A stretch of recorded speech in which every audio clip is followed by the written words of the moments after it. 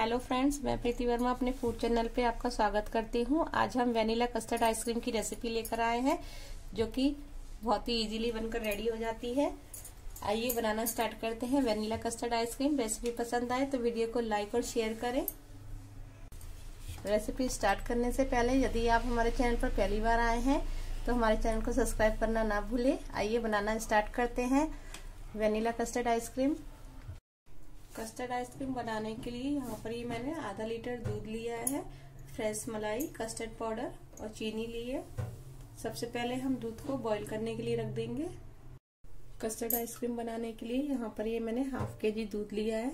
इसको हम सबसे पहले बॉईल करने के लिए रख देंगे। जब तक दूध बॉईल हो रहा है, तब तक ये यहाँ पर मैंने तीन चम्मच कस्टर्ड पाउडर लिया है। यहाँ पर ये मैंने वेनिला फ्लेवर का, कस्टर्ड पाउडर का यूज़ किया है। इसमें हम ये यहाँ पर मैंने नॉर्मल रूम टेम्परेचर पर दूध लिया है। इसमें हम थोड़ा थोड़ा दूध डालकर इसका एक पेस्ट बनाकर तैयार कर लेंगे।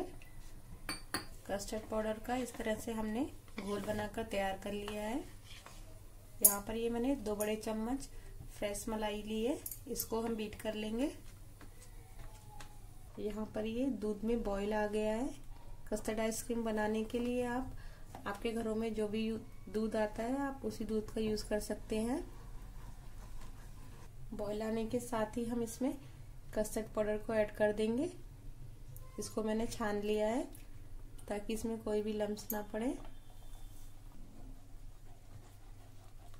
अभी हम इसको ग्राइंड करेंगे। अगर इसमें लम्स पड़ भी जाते हैं तो ग्राइंड करते समय वो अच्छे से बीट हो जाएँगे।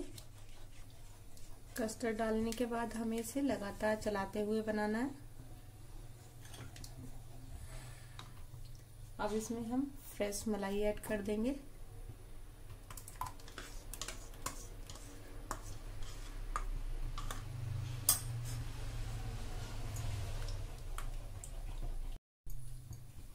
अब इसमें हम चीनी ऐड कर देंगे। यहाँ पर फोर टीस्पून मैंने चीनी ली है।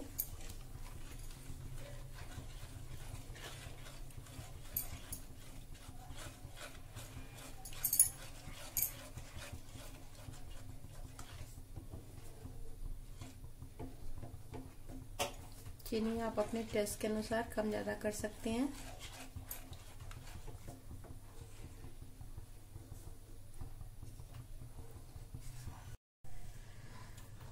अब हम यहाँ पर गैस को बंद कर देंगे और इसे ठंडा होने के लिए रख देंगे। ये यहाँ पे पूरी तरह से ठंडा हो गया है। यहाँ पर ये मैंने ग्राइंडिंग जार लिया है। इसको हम जार में डाल देंगे।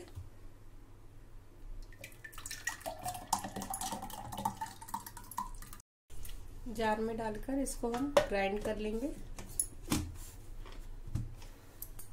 इसको हमने ब्लेंड कर लिया है। अब यहाँ पर ये मैंने एक कंटेनर लिया है। इसको हम कंटेनर में डाल देंगे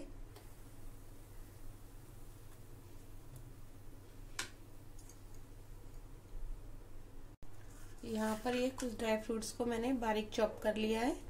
इसको हम ड्राई फ्रूट से गार्निश कर देंगे। अब इसको हम कवर करके ओवरनाइट के लिए या फिर सात से आठ घंटे के लिए फ्रीजर में रख देंगे, सेट होने के लिए। लीजिए फ्रेंड्स, ये हमारी सुपर फ्लैपी आइसक्रीम बनकर रेडी हो गई है, कस्टर्ड आइसक्रीम। अब हम इसको सर्व करेंगे। इसको आप अपने टेस्ट के अनुसार किसी से भी गार्निश कर सकते हैं।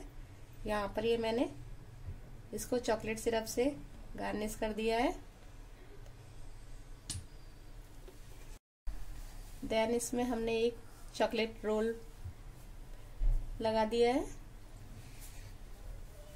ये दूसरी आइसक्रीम को हमने अनार से गार्निश कर दिया है। लीजिए फ्रेंड्स, ये हमारी वेनिला कस्टर्ड आइसक्रीम बनकर रेडी है। आप अपने टेस्ट के अनुसार इसे ड्राई फ्रूट्स या किसी भी फ्रूट से गार्निश कर सकते हैं। रेसिपी पसंद आए तो वीडियो को लाइक और शेयर करें।